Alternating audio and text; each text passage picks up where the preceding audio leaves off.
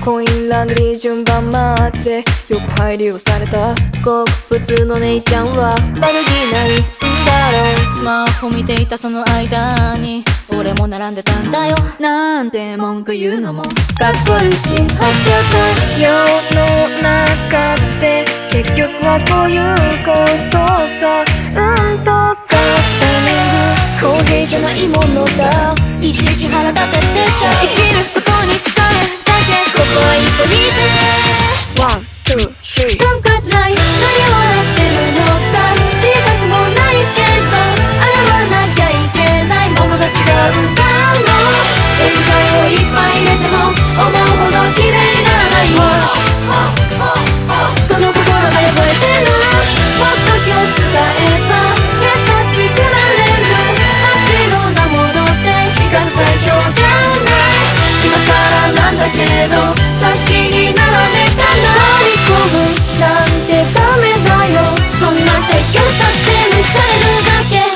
そばでじっと待つ。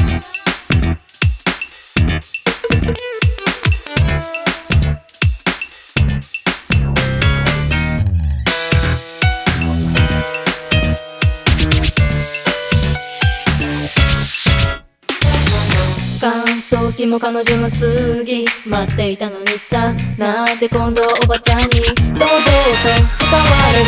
ずっと俺はここにいたんだ？数時間前からって言ってみたところで。奇跡を生み出す人生誰もが味方してくれるわけじゃ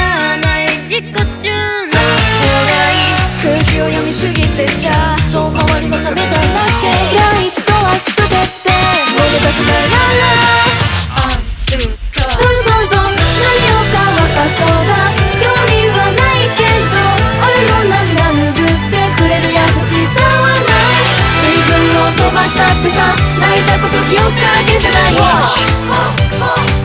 こんな狭い空間に勝手なものたちが自由に振る舞ってるまだ濡れてるのは俺のものだけじゃないもう今日はやめようか。別に急いでないし。愛してよこれじゃいないし。だらだら回しておけば綺麗になるんだ。選択は嫌いじゃない。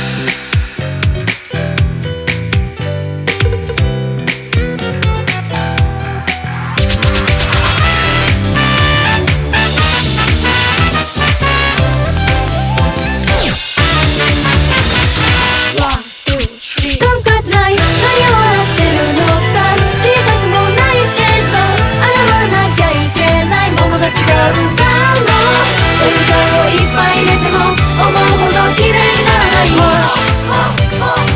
その心が汚れてるもっと気を使えば優しくなれる真っ白なものって光る対象じゃない今更なんだけど先に並べたら張り込むなんてダメだよそんな説教したって無視されるだけただそばでじっと待つ